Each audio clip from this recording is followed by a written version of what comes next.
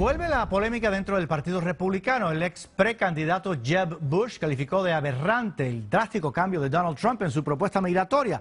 Más allá de esas críticas, Trump sigue buscando acercarse a las minorías y se reunió hoy con activistas hispanos y afroamericanos. Lori Montenegro amplía.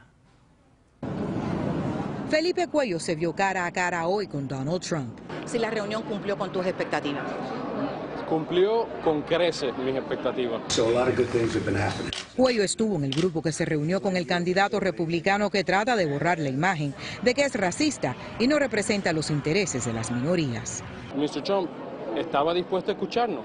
Él quiere ganar y él quiere resolver los problemas de este país. El encuentro de hoy es parte de la estrategia que el magnate ha puesto en marcha para ganar el voto afroamericano y latino que necesita para llegar a la Casa Blanca. Y el tiempo apremia.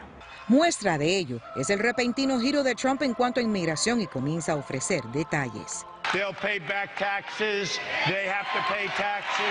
Declaró que no habría una vía a la ciudadanía para los indocumentados ni tampoco una amnistía, pero que sí tendrían que pagar impuestos y trabajarían con ellos.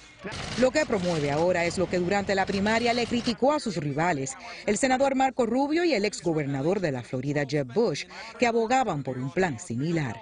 Pagan impuestos, por supuesto, una multa pequeña, aprenden inglés, eh, no reciben beneficios del gobierno federal. Hoy Bush catalogó de aberrante el cambio de postura de Trump y agregó, hoy dice una cosa y mañana otra. Yo no le creo que en eh, tres meses antes de que sean las elecciones va a cambiar su campaña, va a cambiar sus pólizas. Trump quiere atraer a las minorías sin espantar a su base de votantes, mayormente blancos y hombres. En Nueva York, Lori Montenegro, Noticias Telemundo.